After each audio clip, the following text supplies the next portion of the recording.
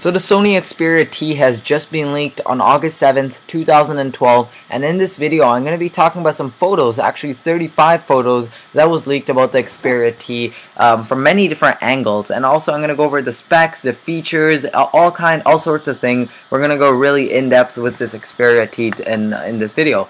So first, um, while you guys are looking at the photos, which should be playing right now, I'm going to be going over some specs. So first of all, it's going to have a 4.6 inch HD display. When they mean HD, it's probably not 1080p. It's probably going to be 720p HD. So which means a resolution of 1280 by 720, maybe even greater. So that's what I'm assuming. Um, there's one phone, I believe the LG phone, that has a 1080p display, but I don't see it being really necessary at this point. So I'm gonna just say that it's a 720p, but again, that's my speculation, and it's probably if if I get proven wrong, I would love that, but it's just I don't see it being a 1080p display. It's also going to have a Snapdragon S4 processor. We're not sure what the clock speed is, and uh, assuming it's going to be a dual-core processor. Um, it's not, as far as I know right now, it's not the Pro that many people are talking about. It's just a standard Snapdragon S4, uh, for example, that's in the Samsung Galaxy S3. This is also going to have 1 gigabyte of RAM, so it's a 1 gig lower than the Galaxy S3 for comparison and it's also going to have 16 gigabytes of internal memory but you don't have to worry because if 16 gig isn't enough for you then you're also going to have a micro SD card slot which is going to be a deciding factor for many of you because a lot of people I know love micro SD card slots. They like the ability to know that they could expand if they have to. They're not restricted by any specific uh, size requirement or any reasonable size requirement also, it's going to have a 13 megapixel sensor, megapixel megapixel camera, sorry, uh, at the back. It's probably going to be one of Sony's Exmor R, and it's going to have all the features that you would expect in Sony smartphones, maybe on par with Xperia S or other smartphones. Hopefully, it's going to be a good one as well. You can see that there's a small flash under it, as if you're noticing on the pictures.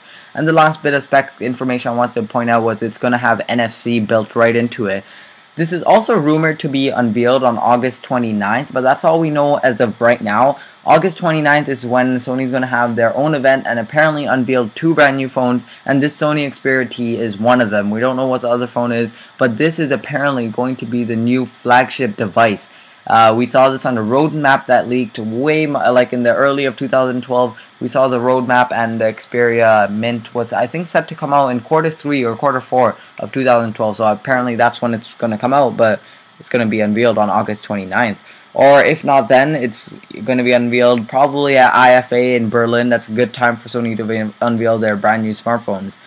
Um, now, uh, now that I talked talked about uh, the hardware side, let's move on to the software bit. So let's quickly run over this. So it does have on-screen buttons. They're not capacitive. They're on-screen. So I'm assuming it's ice cream sandwich. I, I don't think it's up to, uh, up to Jelly Bean yet. I don't think it's Android 4.1. I think it's Android 4.0, maybe 0.3 or 0.4, somewhere around that. Um, but that's just what I'm assuming this is. Uh, also, it, it, it has a bit of Sony's customization built right into it. It has a new multitasking menu. The widgets, it looked like the widgets a bit changed a bit, the way you put widgets on the screen. Things like that. It still has that transparency look and feel, or actually, I wouldn't know feel, but if it does, it, it's probably going to feel the same way as Xperia S. Um, but it seems very nice. It seems like it's not letting down the ice cream sandwich experience that Google intended. Sony's just adding some brand new features to differentiate themselves from, for example, the Galaxy Nexus or like some other stock Android phone, or even from other competitors like using TouchWiz or Sense or something like that. And arguably, many people agree that the Xperia UI or whatever Sony calls it, the NXT UI, is uh, a lot better than Sense UI or even TouchWiz. It's more transparent, it's more clean, organized, and doesn't really affect your ice cream sandwich experience. It, it, for the most part, it actually makes it better. It enhances your experience. It has a new music player as well, which I forgot to mention. And as far as the actual look and feel, of course, I wouldn't know how it feels, um, but it seems to look a bit thicker than the Galaxy S3 for comparison, but it's probably going to be thinner than the Xperia S, or at least that's what I would hope. It also seems to have very thin bezels along the sides, but the bottom is very thick because it has that Xperia logo there, and the top it has a very thin Sony logo, and the top bezel is also very thin. So the top and the sides are thin, the bottom looks to be a bit bigger, but it also has the capacitive uh, buttons there. Also the Xperia logo at the back, and it's weird because they still have that orb at the back uh, of the phone above the Xperia logo One thing I hate about this phone before we leave is the fact that it has a flap or open up slot. It's a piece of plastic that just opens up, and under that under that is where you'll find the micro SD card slot and the USB. So that's the USB port. So that's something I don't like. Uh, it's sad that Sony decided to do that, but hopefully it's a prototype and they might change in the final version. And if not, it's just a small thing in a big flagship phone, so I wouldn't really mind too much anyways. But the volume and the power button, the camera button, there, there's also a shutter button, I forgot to mention that, is in a different position. It's at the bottom right-hand side of the phone, so it's not what you would expect on the top right or, uh, I mean, top right or, or side, uh, top side of the phone it's a bit different uh, than what you'd expect. It's more similar to the Nokia Lumia 900, if you know how that is.